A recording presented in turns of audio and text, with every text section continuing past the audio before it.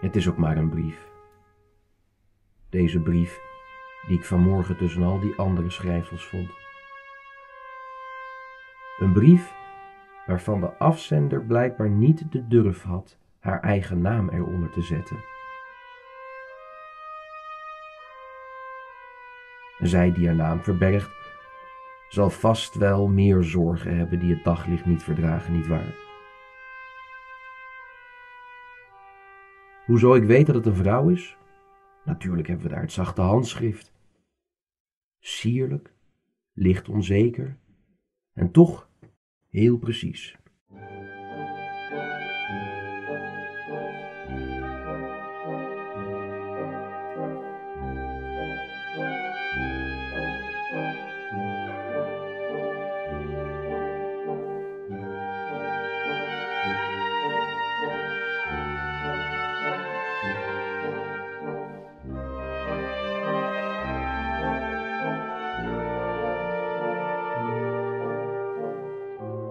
Nee, mij treft geen blaam, geen enkele blaam. Of een mens ongestraft kan liefhebben? Wat een onzinnige, dwaze vraag.